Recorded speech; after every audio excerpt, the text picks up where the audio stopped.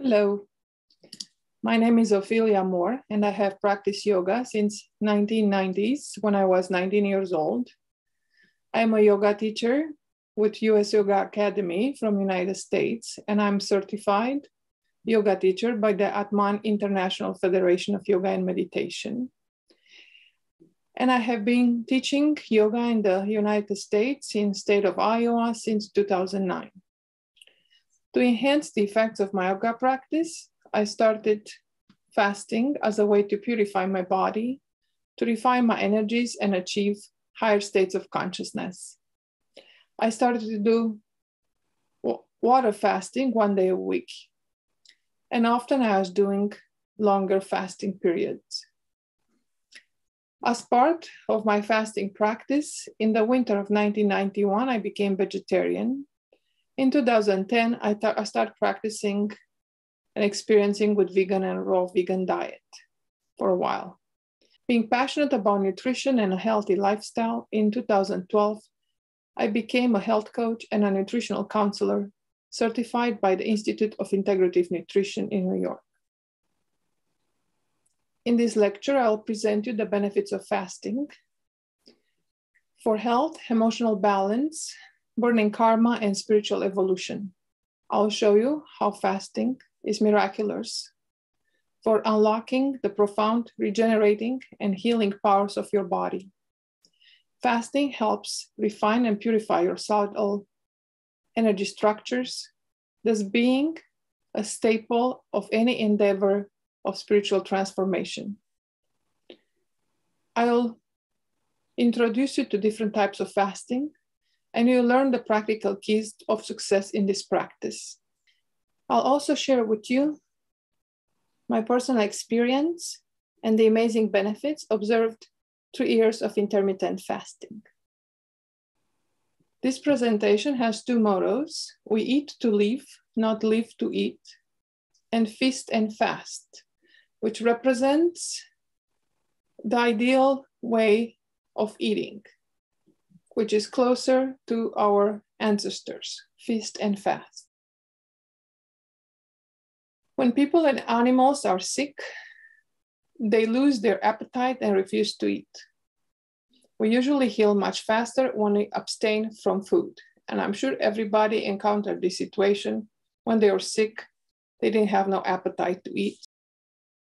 But if they're eating, they're feeling even worse. So it was better not to eat because the body has actual intelligence and knows when to tell you that fasting can heal us, so especially when we are sick. What fasting is? Fasting consists in abstaining from some or all food and drink, except water or both, for a certain time. Fasting can be observed individually or as a group.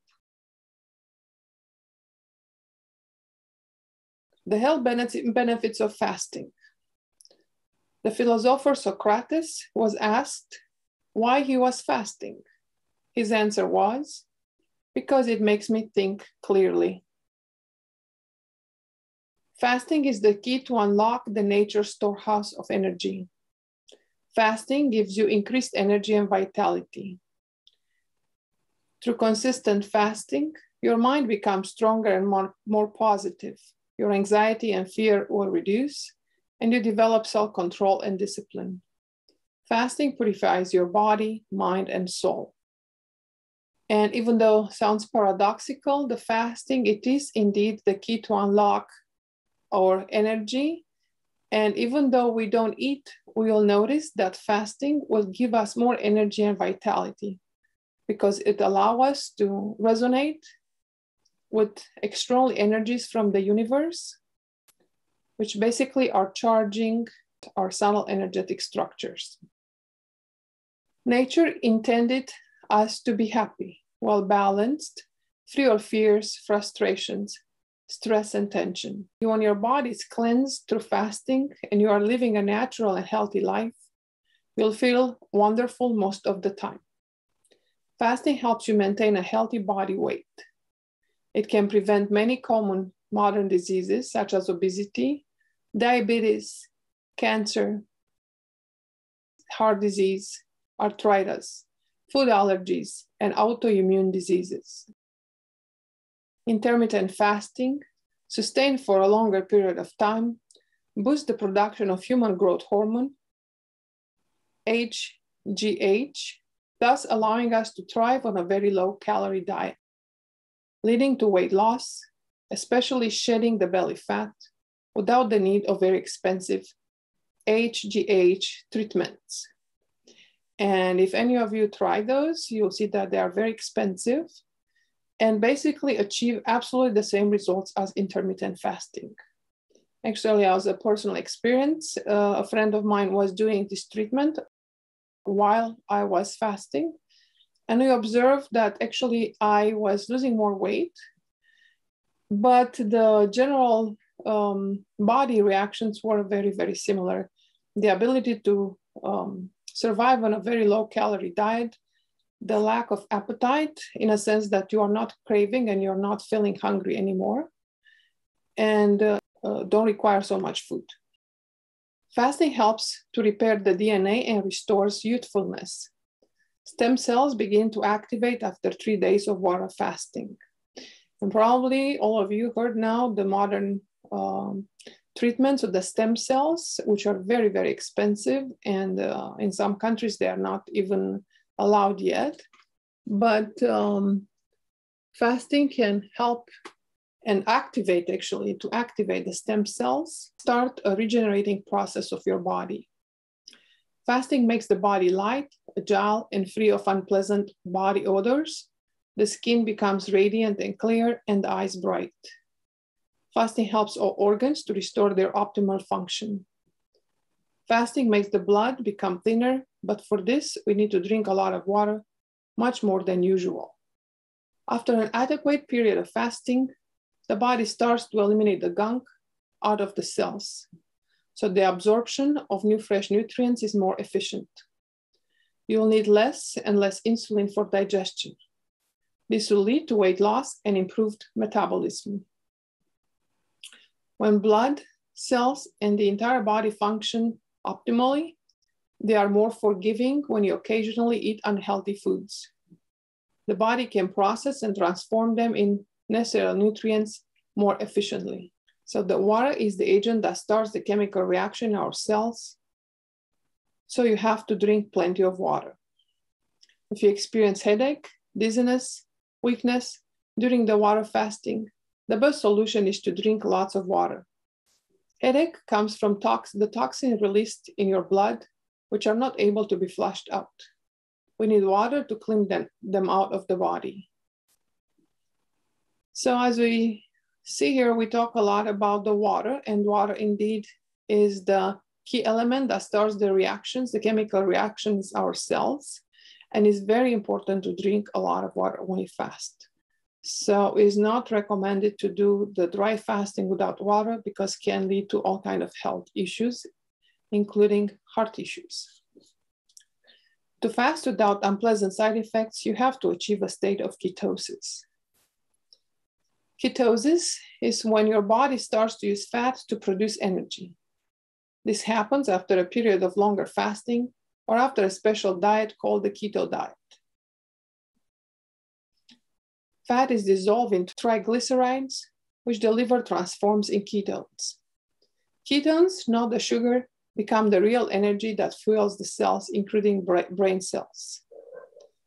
This is why you can have more mental clarity during water fasting because the ketones stimulate the brain functions. The ketone starts to activate after 18 hours of water fasting. And actually that's how the keto diet was, was discovered, was used in uh, children with um, epilepsy. And I noticed that those children were able to manage their symptoms much better if they were on a very long term keto diet. And they realized that this keto diet was helping their brain very much to um, avoid the seizures. And from here, the keto diet started because they realized that uh, these children were burning fat, which are fueling mostly their brain. So it is extremely, extremely healthy diet because it stimulates the brain. And uh, these ketones use the fat stored in the body as energy. The insulin levels are more important than sugar levels. You need to reduce the insulin level from the blood to improve digestion, nutrients assimilation, and organ functions. Fasting reduces inflammation and water retention. Sometimes during fasting, you can eliminate more water from your body than you are drinking. This is a very important element that indeed you can eliminate more water from your body than you are drinking. And in this way, you also can lose weight because a lot of weight we have, it's water, it's adipose tissue, it's water stored in the body. Insulin binds with the water cells. When the insulin levels reduces, the water is released. So that's how we start to lose weight. We reduce the insulin levels, and this will lead to elimination of the water, the excess water. The insulin is the key to unlock the energy stored in the, stored in the cells. The insulin in itself does not give us energy. To be able to fast for longer than 36 hours periods, we need training. So it's important to remember this, to be able to fast for longer periods than 36 hours, we need some training. Don't jump into longer, long fasting periods because you'll put your body in shock and then you'll feel bad and you'll not want to fast anymore. The best way to train our body for longer water fasting is to do in daily intermittent fasting. We can eat larger meals within a period of six, eight hours. And for the rest of the day, we fast, no snacks. So this is a very important aspect to eat larger meals within this period we choose, and then to not snack for the rest of the time. This way you can reach the state of daily ketosis. Eventually you can expand the 16 hour periods of intermittent daily fasting to longer time. The feast and fast seems to be an appropriate way to eat closer as our ancestors used to eat. And for more details of the biochemical effects of fasting, please refer to Dr. Pradip Jamnadas lecture on YouTube, Fasting for Survival. He has a, about an hour and a half presentation called Fasting for Survival. And also he's saying that uh, even though our diet changed extremely in the last uh, couple thousand years, let's say, our genetics did not. So because uh, the genetics uh, change much slower, we still have the genetics of our ancestors. So we should eat more appropriate to that period, to older times. Fasting as a religious and spiritual practice. From yoga and tantra perspective, fasting can grant you the connection with the divine inner self, Atman, and helps you access higher states of consciousness. You can be blissful most of the time. And how this can happen?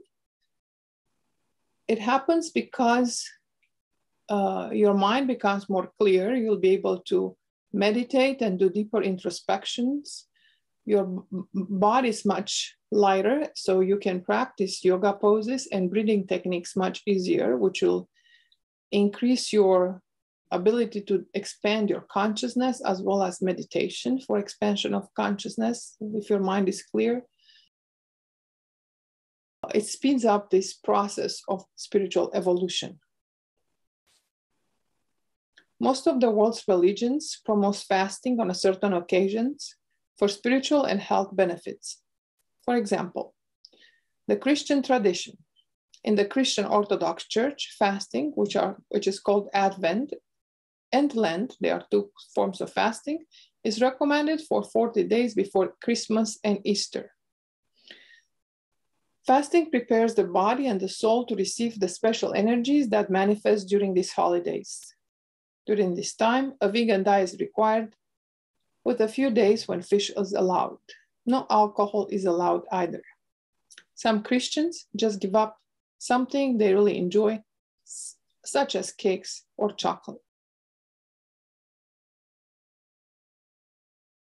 Fasting in Judaism is defined as a complete abstaining from all food and drinks. A full day of fasting begins at sunset in the evening and continues through darkness of the next day. A minor fast day begins with the dawn and concludes at darkness. In the Islamic tradition, the fast of Ramadan, which is in June and July, it is a period of almost a month between these two uh, months, sometimes between June and July, is one of the most important holidays in the Islamic tradition and is prepared by fasting.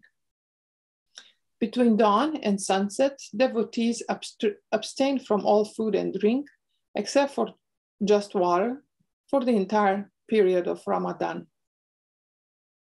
Let's see now the types of fasting. Some people refrain from some animal products, such as meat and meat products. And here we uh, see the vegetarian diet. So vegetarian diet is when we abstain from meat and meat products. Some other people abstain from dairy and other animal products, such eggs, milk products, and all meats. And now we can go into the vegan diet. Then we have much more serious forms of fasting, like juice fasting, which means drinking only fruits or vegetable juices and water from cleansing purposes for certain per periods of time. For example, for one day, only juice for three days, for seven days, etc. You can basically adjust your own time according to your needs. During these days, you drink only juice. It is important that juice to be mixed with some water, one part juice, one part water, because in this way, the body will absorb it easier. The juice is extremely concentrated in nutrients and it's very important to be absorbed as good as possible to the cellular level. Water fasting, drinking water only. This is the water fasting. Mahatma Gandhi used water fasting to help him achieve peace in his country.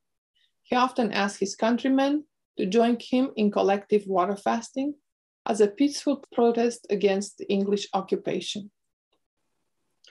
And then we have intermittent fasting, which represents eating only within a certain period every day, for example, between noon and 6 p.m., within a period of six hours. Now we can uh, go to see the benefits of prolonged water fasting, which represents water fasting between 24 and 36 hours or longer. This is considered an act of abstinence. For one day a week, you might abstain from all food, drinking water only. This is called the water fast. So this type of fasting is a way of integrating the spiritual discipline of fasting into your life on ongoing basis. Gives the digestive system a break so toxins can be cleaned out of the body. Extended water fast lasts, let's say, for three days in a row at every change of the season. Or you can fast two, three days a week, alternative, for example, Wednesday, Friday, and Sunday. The extended water fast can be longer than three, three days, of course, can be five days, seven days. Some people go fast 20 some days and even 40 days. I think 40 days, it's um, probably the longest period you can fast and you can fast safely 40 days, drinking only water. Fasting as a tapas for example, you make a commitment to fast one day a week until you achieve a certain goal. And here it is very good to determine exactly your goals and fast specifically to achieve those goals. So you don't stop the tapas until you achieve your goal. Then we have occasional group fasts, which are when a family, a group of friends, church members, yoga students decide to fast together, usually for a common goal such as group or individual healing, spiritual transformation, or world peace. And now let's see a few elements of esoteric astrology, the correlation between fasting and the days of the week. Water fasting can be done one, two, or three times per week. You can consecrate the fasting effort to God for a goal you want to achieve. You do this for a determined period of time or until the desired results appear. This method awakens the inner fire harmonizes the body weight, and leads to the assimilation of certain beneficial energies according to the esoteric astrology. Specific energies manifest during each day of the week. while fasting can make us more receptive towards these energies. So now let's see what types of resonance creates fasting on each day of the week. For example, Monday creates resonance with the moon, increases sensitivity and receptivity, can help harmonize relationships, amplifies femininity. It's not recommended to do it very often because it can lead to mediumistic effects. Tuesday creates resonance with Mars, considered the lesser malefic, eliminates violent karma, amplifies masculinity, dynamism, and courage. Wednesday creates resonance with Mercury, increases mental harmony, dynamism, and intelligence, brings abundance at the material level. Thursday creates resonance with Jupiter, considered the greater benefic. It helps achieve overall well-being. Friday creates resonance with Venus, generates inner harmony, love, inner peace, and happiness, helps harmonize our love relationships, and creates emotional healing. Saturday creates resonance with Saturn, considered the greater malefic. It's recommended when we have problems in most aspects of our lives. Can help burn collective violent karma, such as finding ourselves in war and disaster areas. Sunday creates resonance with the energies of the sun, increases the awareness, the capacity to focus, and amplifies the spiritual aspiration. Has a purifying spiritual effect, facilitating the connection with God. And now let's see other fasting types you can integrate in your life periodically. For example, citrix fasting for lymph cleanse.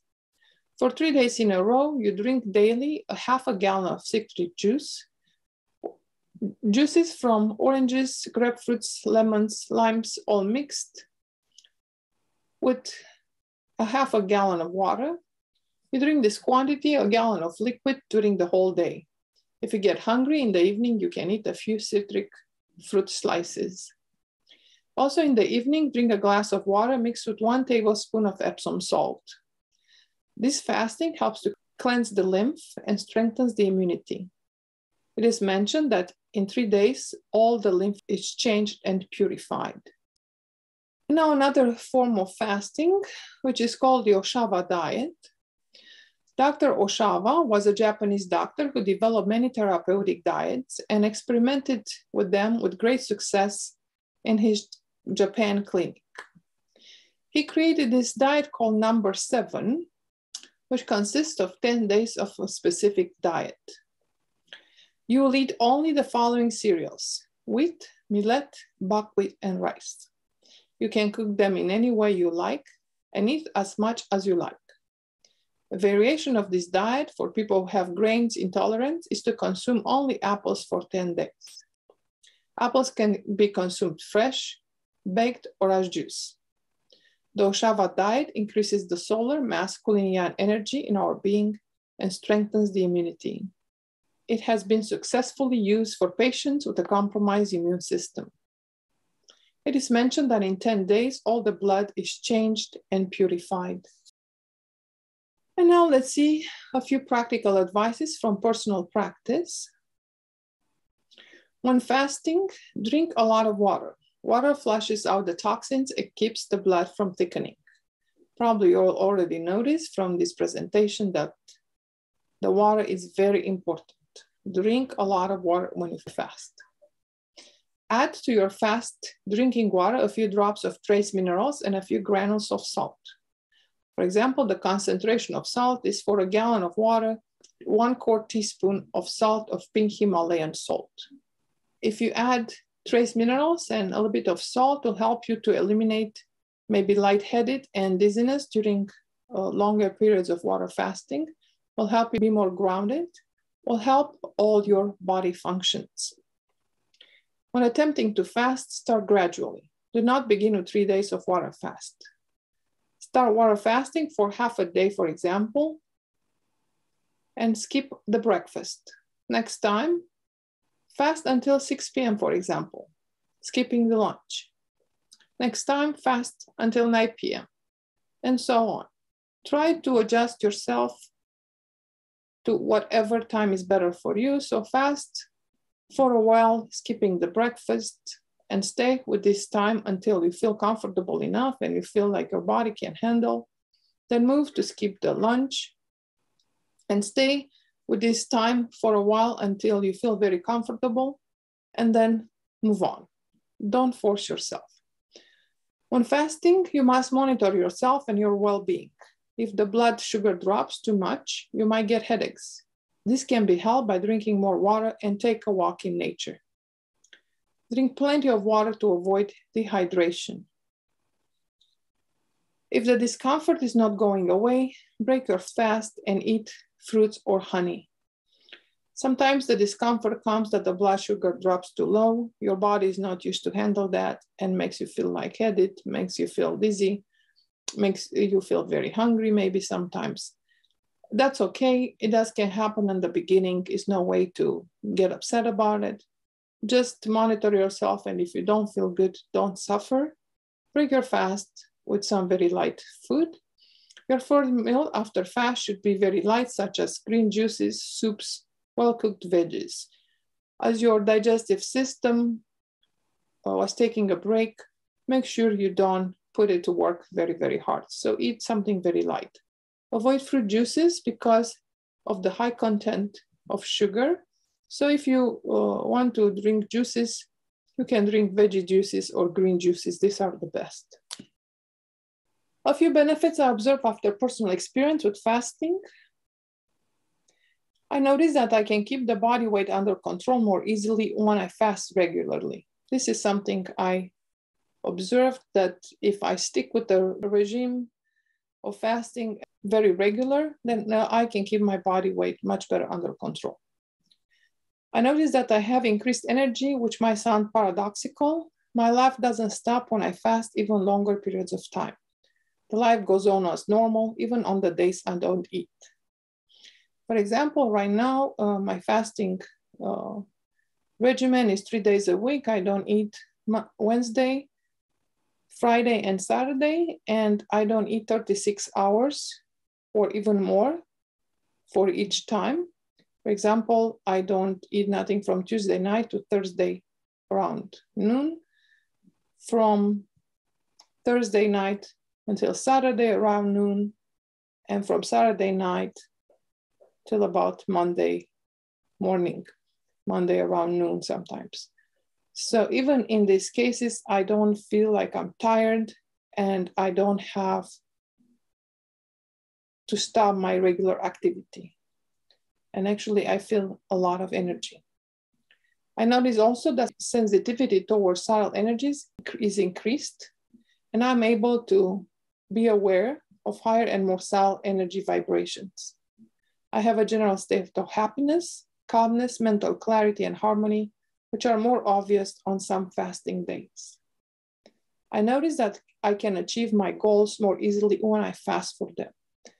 And this is an extremely tool which I encourage all of you to use. When you have a special goal, you want to pass a test, or you have a important meeting or you want to achieve other goals which are taking lo longer time to prepare for, consecrate the fruits of your efforts to God and ask in return the energy of your fasting to be directed towards that goal. Uh, that's what I do, and I notice that I'm always successful, sometimes faster or sooner than others. The time is not so important as the fact that I actually achieve my goals. And now I will answer to a few questions which were addressed to me during the previous presentations. So the first question it is um, why sometimes it is difficult for us to fast even for a short time and other times we have no problem fasting for several days. And the answer is our ability to fast is influenced by multiple factors. For example, feeling weak, tired, or having headaches during fasting can be a sign that our body begins to detox and the toxins cannot be eliminated fast enough from our blood. In this case, we need to rest, sleep, drink plenty of water, walk in the nature, and practice easy yoga poses and breathing exercises. If our body is nutrient deficient, fasting heightens this deficiency. If the discomfort we experience during fasting does not go away with the above suggested methods, then it might be a good idea to do some blood tests, which can be ordered by our regular doctor. Check for hormonal imbalances, mineral and vitamin deficiencies, and for all major health markers. First, we should fix these issues with proper nutrition, natural remedies, and supplements, and then resume our fasting practice. Also, it is very important to have a healthy, varied, and adequate nutrition in the days when we eat. For example, the diet of many vegetarians is based on bread, cheese, pizza, overcooked veggies, and desserts full of sugar. If we eat junk food as a staple diet with lots of refined sugars and carbs, the insulin levels in our blood will be highly elevated during fasting. This will generate headaches, hunger pangs, dizziness, and overall discomfort. A healthy, balanced diet based on whole grains, lots of greens, and lots of raw fruits and vegetables, and healthy vegetarian protein sources is more supportive for a lifestyle with integrated fasting periods. The keto diet, which consists mostly of veggies and healthy fats, and includes a small amount of protein and carbs, can help you train your body for fasting and does not create blood glucose spikes. Another question how do I know I'm in a ketosis state during fasting? Answer The ketosis is a metabolic state in which the body burns fat instead of carbs to produce energy. To determine your ketones level, you can use ketone testing kits like the one in the picture. They look very much like blood sugar readers used by diabetics. Here are some physical signs of the ketosis state. Your breath has a fruity smell, sometimes a bad smell. This is caused by elevated ketone levels. This is caused by acetone, a ketone that is eliminated from the body through urine and breath. Also, you can experience weight loss. That's because the fat starts to dissolve and the water is eliminated from the body. We notice reduced appetite and reduced sensations of hunger. Increased ketones level in breath, blood, and urine, which can be measured with the reader showed in the picture or different readers increased focus and energy. Short-term fatigue. The initial switch to a ketogenic state can include weakness and fatigue. This often causes people to quit the fasting before they get into full ketosis and can reap the long-term benefits. If um, at the beginning of our fasting practice we start to feel sluggish and sleepy, instead to eat, it's good to actually sleep to rest practice yoga, bring exercises, walk in nature, like we mentioned before, until these sensations will disappear. Usually they are not very bad. So if we can make it through the day, if only these sensations appear, if we can make it, eventually they will disappear and we will experience the increased focus and energy. Another question. You mentioned in the lecture that it's very important to drink plenty of water during fasting. But in my case, I feel that I demineralize my body if I drink too much water when I fast. How can I drink water to hydrate myself and flush out the toxins without losing minerals? The best way to keep your minerals to optimal levels during fasting is to add trace minerals and salt to your drinking water. The salt concentration is 1 quart teaspoon of salt to a gallon of water. For trace minerals, follow the label's instructions. Also, you can drink directly mineral water you can purchase in the stores. And the last question, can you explain what autophagy is?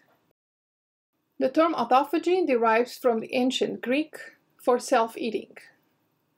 This cellular process is complex and it is believed to be induced by fasting and calorie restriction diets.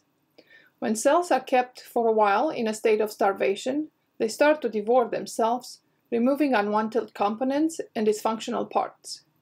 Sometimes the cells destroy these parts, other times they recycle them into new necessary components. Autophagy causes the body cells to clean out and recycle any unnecessary or damaged parts. Some animal study suggests that short-term fasting can induce autophagy in brain cells. It is believed that autophagy might protect us against neurodegenerative diseases like Alzheimer and Parkinson diseases, cancer and autoimmune diseases.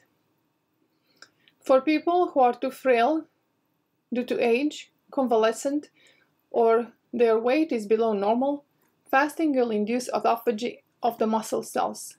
For this reason, fasting should be done carefully, constantly monitoring our health and well-being. So I hope you enjoyed this presentation. I wish you a lot of success in uh, fasting. I would encourage you to fast uh, seriously and consistently because it's a wonderful practice. Just be very mindful with your body, listen to your body. Also, fasting will help you get in tune with your body and listen to your body messages so you know when to do it and when not to do it. It's very important to know when not to do it. But when you do it, you'll see that if you listen to your body signals, you'll have a wonderful experience. Thank you so much for your time and good luck and success in your fasting practice.